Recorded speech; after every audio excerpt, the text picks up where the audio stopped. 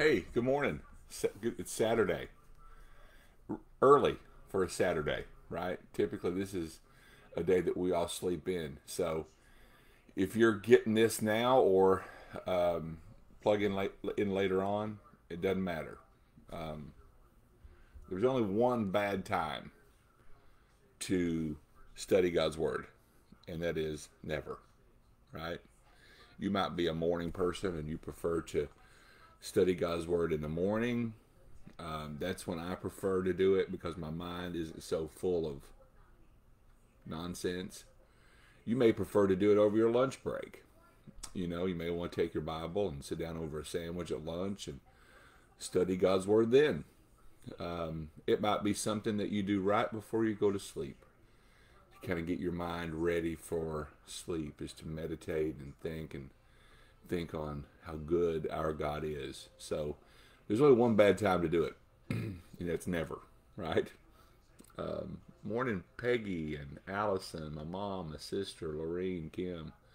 I love you all so much. Thanks for hanging out with me this morning. Let's have a word of prayer. There's Wilma too. Yay. Um, let's have a word of prayer and then we'll jump in. We need to continue to pray for President Trump and Melania. Um, there's a lot of people in that circle that I think is uh, getting diagnosed with it. So we need to be we need to be praying for sure.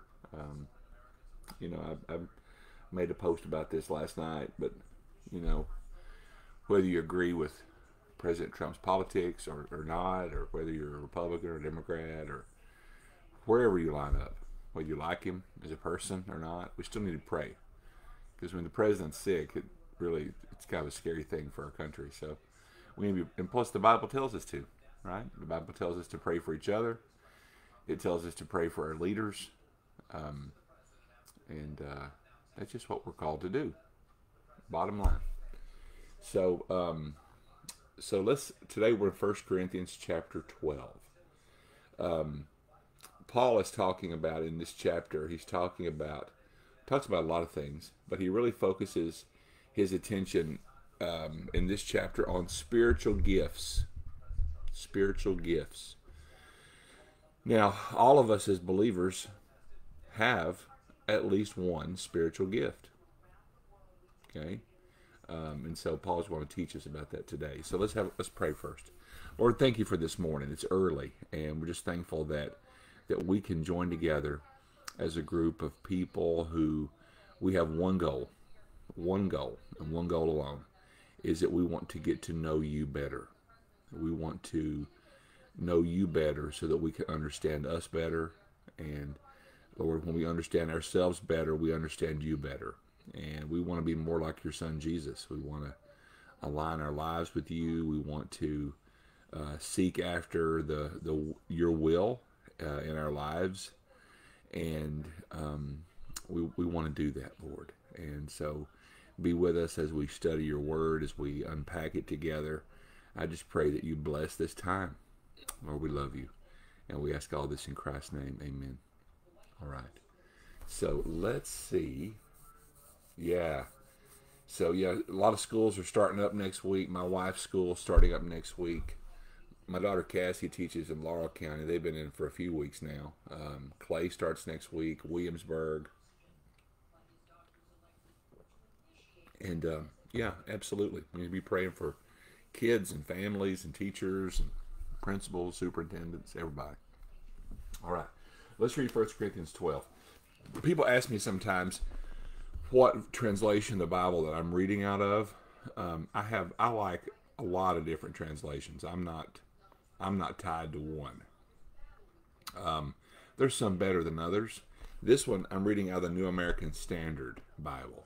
It's very it's it's written in a, in in a, in a modern with modern language, but it is very very true to the original texts. Um, there's two different kinds of translations. There's literal translations, which is literally word for word translations. And there's also something called a dynamic or a phrase by phrase um, kind of idea for idea translation. Um, an example of one of those would be the NIV.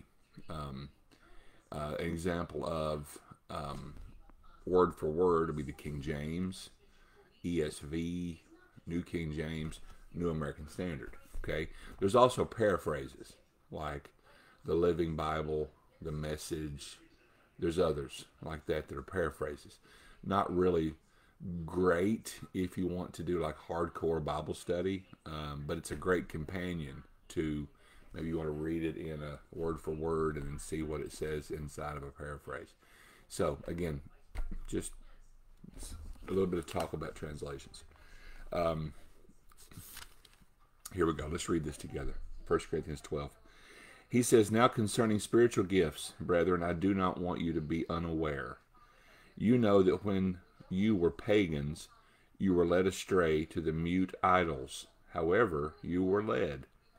Therefore, I make known to you that no one speaking by the Spirit of God says Jesus is accursed, and no one can say Jesus is Lord except by the Holy Spirit. Now there are varieties of gifts, but the same Spirit. And there are varieties of ministries, and the same Lord. There are varieties of effects, but the same God who works all things in all persons.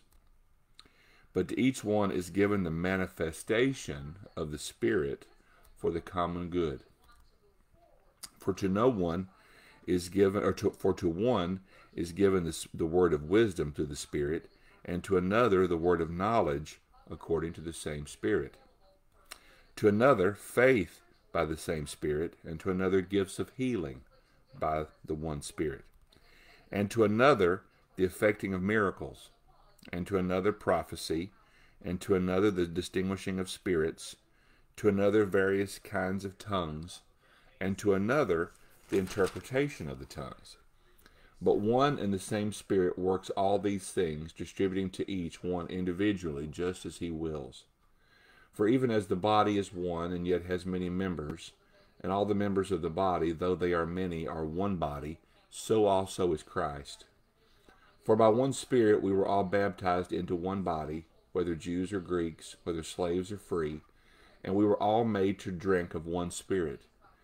For the body is not one member, but many. If the foot says, Because I am not a hand, I am not part of the body, it is not for this reason any the less a part of the body. And if the ear says, Because I am not an eye, I am not part of the body, it is not for this reason any the less a part of the body. If the whole body were an eye, where would the hearing be? If the whole were hearing, where would the sense of smell be? But now God has placed the members, each one of them, in the body just as He desired. If they were all one member, where would the body be? But now there are many members, but one body. And the eye cannot say to the hand, I have no need of you, or again the head to the feet, I have no need of you. On the contrary, it is much truer that the members of the body, which seem to be weaker, are necessary. And those members of the body which we deem less honorable, on these we bestow more abundant honor, and our less presentable members become much more presentable. Whereas our more presentable members have no need of it.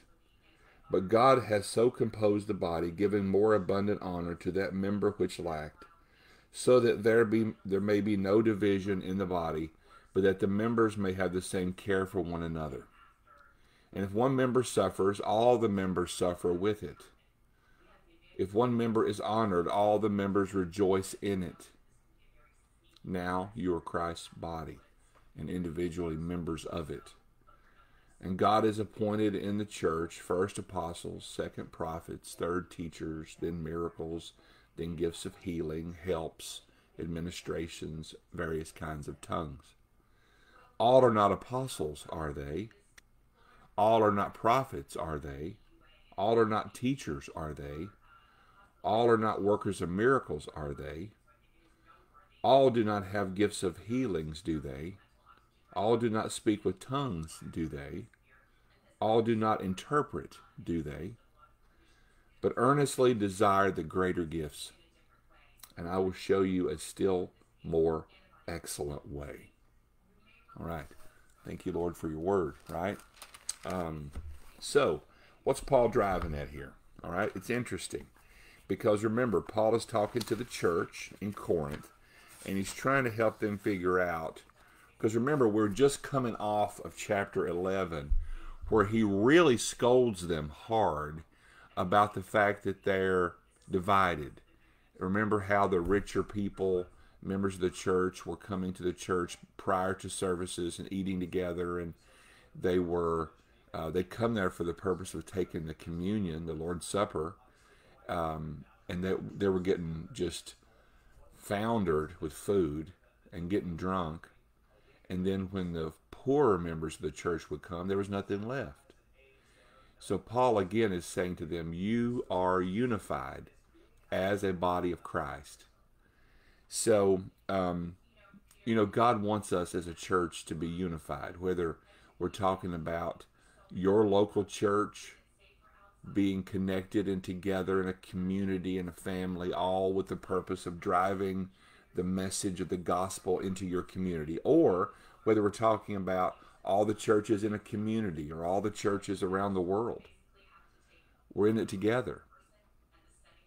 And regardless of the color of your skin or where your church is or anything else, we all worship the same the same God.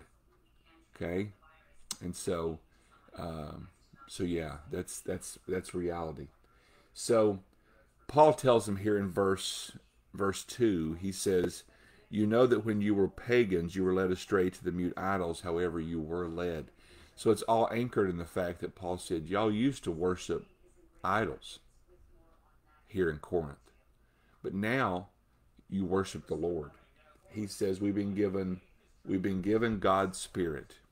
So if you're a believer this morning, you've given your heart and life to Jesus, which I pray that you have. If not, it's not too late to do that. Now's the time to do that. But Paul is saying that all of us have been given what he calls here uh, down in, in another verse, verse 7. But each one is given the manifestation of the Spirit for the common good. So no matter who you are, if you're a follower of Jesus, we have been given a spiritual gift, at least one, maybe more. Okay? It's not a question of, do I have one or do I not have one? Yes, you do. How do I know this? The Bible says that you've been given a spiritual gift. And so uh, it's amazing to think about. But here's what we know we know that your spiritual gift that you've received and that I've received have been given to us for one reason, and that is to glorify the Lord. It is to um, take the mission of the gospel that we've been given, this incredible message of hope and grace and mercy to a world that desperately needs it. So the gifts that we have are not to glorify us, but is to glorify our Lord. And so not everyone has the same gifts. That's another thing that we've got to consider. Paul talks about here, he says he lists various ones, and he said to to you know to one is given the word of wisdom through the Spirit, to another the word of knowledge according to the same Spirit, to another faith, to another gifts, to another the effecting of miracles. So God created you and I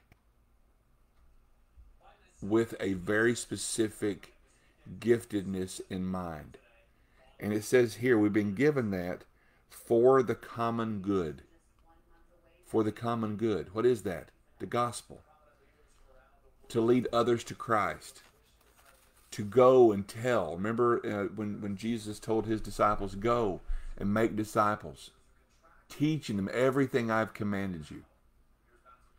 So it's not this giftedness that we've received is in no way to exalt or lift up ourselves. Um, this is another thing. Every member must be celebrated. Okay? Um, we are all a part of the body of Christ.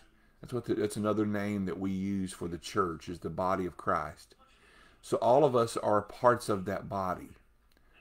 So Paul uses this metaphor here of the human body to talk about, he says, um, for the body is not one member, but many, in verse 14. If the, put, if the foot says, because I'm not a hand, I'm not part of the body. So, yeah, there are certain parts of the body, our big toe, for example, our earlobe, you know, that they're not fancy, right?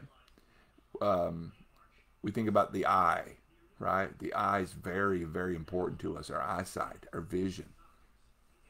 But Paul is saying just because one member of the body does something that might be a little less honorable than another, that does not make that part of the body any less important. so if your giftedness, and how do you determine your giftedness? You know, like how do I know what my gifts are? Well, they're online. You can find some. You can find spiritual gifts inventories. Some are better than others. Um, I would suggest start with praying to the Lord and saying, Lord, will you reveal to me what my spiritual gift is? Because we want to be able to use it, right? We want to be able to put it to use. God's given us a gift, and we need to be able to use it for His glory. So as you think about that, that's important. Um, but we need each other. We got to be unified with one another. We all have different jobs. We all have different giftedness. We're unified. Verse 26 is good, and we're going to be wrapping up here real, real soon. It says, If one member suffers, all the members suffer with it. That is a beautiful picture of the fact that we, as brothers and sisters in Christ, must help each other carry the load of, that life brings. If one of us is hurting, we're all hurting. If one of us is rejoicing, we all rejoice because we're all part of the body of Christ. The blood that we share as brothers and sisters in Christ is the blood of none other than Jesus himself that he shed for us on the cross. So it's important here. In verse 31 says, But earnestly desire the greater gifts. So that tells me that we can actually, that God will give us additional gifts. It says, But desire the greater gifts. So you and I, through the power, everything that we're talking about here stems from the power of the Holy Spirit in our lives. Which, if you're a believer, the Holy Spirit resides inside of you. That's why the body calls us a temple. The Holy Spirit lives inside of you. And he says, and I will show you a more excellent way. I love that. You know, following Jesus, giving your life to him, aligning your life with his life, having his mind is certainly a more excellent way. I love you all so much. Uh, tomorrow is 1 Corinthians 13, which, if you read it ahead of time, it is all about love. If you've ever been to a wedding, you've probably heard 1 Corinthians 13 read in that context. But um, we're a little bit over time. But I love you all. Have a great Saturday. Um, it's going to be a good one. It's cold outside this morning, so if you get outside, put a jacket on. I love you all. Have a blessed day. Let's pray. Lord, thank you for today. Thank you for this word that you've given us. I pray that you would just let it just work on us, Lord, all day long. And um, we will give you the glory for everything. Because, Lord, if um, if you're not in it, we don't want to be a part of it. That is the truth. That is true. Lord, we love you. We ask all this in Christ's name. Amen. All right. I love you all. Have a great, great, great Saturday. And we'll see you in the morning at 7 uh, for 1 Corinthians 13. And then Sunday school, if you're looking for a place to Sunday school at 9.30 tomorrow morning, join us. It's going to be good. I love you all.